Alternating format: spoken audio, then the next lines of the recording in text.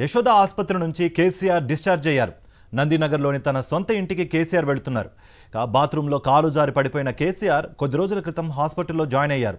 తుంటి ఎముక విరగడంతో వైద్యులు సర్జరీ చేశారు. ప్రస్తుతం ఆయన ఆరోగ్యం మెరుగుపడుతూ ఉండడంతో డాక్టర్లు ఆయన్ని డిశ్చార్జ్ చేశారు.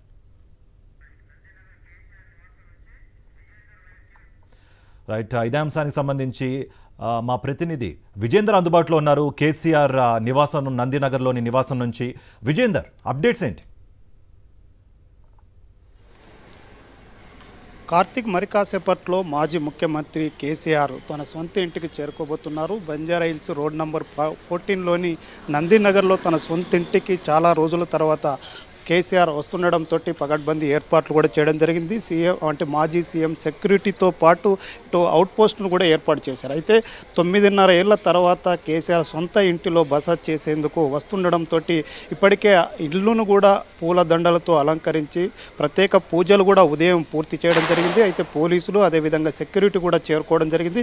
కొద్దిసేపటి క్రితమే కేసీఆర్ అల్లుడు అనిల్ కూడా ఇక్కడికి చేరుకోవడం జరిగింది. అయితే ఉదయం అంటే రెండు రోజుల నుంచే ఇంటికి రంగులు అద్దడం కానీ ఇక్కడ మరమ్మతు పనులు కానీ అన్నీ కూడా పూర్తి చేయడం జరిగింది. అయితే రెండు వేల సంవత్సరంలో నిర్మించిన ఇంటిలో సీఎం అంటే రెండు వేల పద్నాలుగులో సీఎం అయిన తర్వాత కేసీఆర్ ప్రగతి భవన్కు మారడం జరిగింది. ప్రగతి భవన్ నుంచే ఆయన కార్యక్రమాలు అధికార నివాసంగా అక్కడ మార్చుకోవడం జరిగింది. అయితే రెండు వేల సంవత్సరంలో ఈ సొంత ఇంటిని నిర్మించుకోవడం జరిగింది. ఇల్లు నిర్మించిన తర్వాత రెండు వేల ఇరవై ఒకటిలో జూలై పదమూడున ఒకసారి వచ్చి ఇంటి మరమ్మతు పనులు కూడా పరిశీలించారు. తర్వాత ఇప్పుడు అనుకోని పరిస్థితుల్లో హాస్పిటల్లో చేరడము హాస్పిటల్ నుండి డిశ్చార్జ్ అవుతున్న కేసీఆర్ నేరుగా తన సొంత ఇంటికి నందినగర్లోని తన సొంత ఇంటికి రాబోతున్నారు. అయితే ఇప్పటికే హాస్పిటల్ నుంచి బయలుదేరని సమాచారంతో ఇంటికి వద్ద కూడా సెక్యూరిటీ అటు పోలీసులు కూడా పగడ్బందీ ఏర్పాటు చేశారు. కుటుంబ సభ్యులు కూడా చేరుకోవడం జరుగుతుంది. అయితే ఉదయం వేకువ జామునే కుటుంబ సభ్యులు వచ్చి ఇంట్లో పూ ప్రత్యేక పూజలు కూడా నిర్వహించడం జరిగింది. అయితే కేసీఆర్ వస్తున్న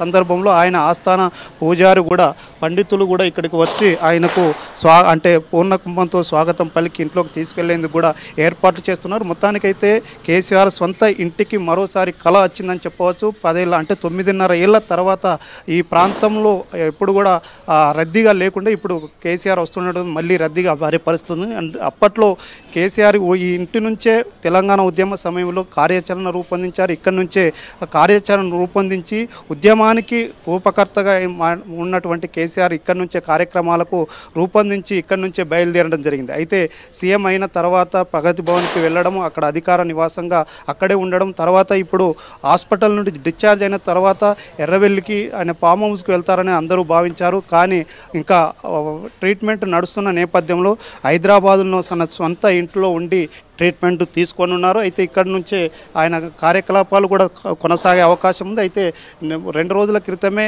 ఇక్కడికి ఇంటి వద్దకు ఆ సిబ్బంది ఆయన కుటుంబ సభ్యులు చేరుకొని సొంత ఇంటిని పూర్తి స్థాయిలో మరమ్మతులు చేయడం జరిగింది. పూర్తిగా ఇల్లు అంతా కూడా నూతనంగా అలంకరించడం జరిగింది. పూలదండలతో అలంకరించి ప్రత్యేక పూజలు కూడా పూర్తి చేయడం జరిగింది. మరి కాసేపట్లోనే కేసీఆర్ తన సొంత ఇంటికి వస్తుండడంతో ఆ కుటుంబ సభ్యులు బంధువులు అదేవిధంగా పోలీసులు కూడా ఇక్కడికి చేరుకోవడం జరుగుతుంది. చెప్పవచ్చు Karthik.